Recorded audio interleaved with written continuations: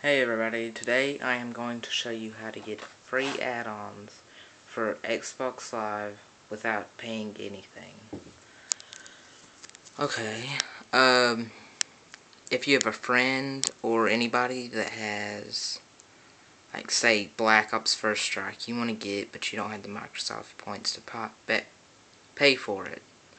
You sign into their account, if they'll let you. You go to Manage Account you go down to download history.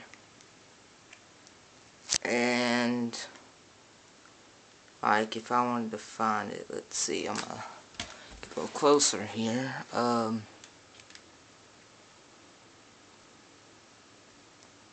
uh, let's see let's see. I will here we go.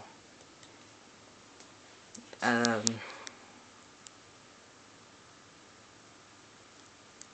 like this for Homefront but this works too.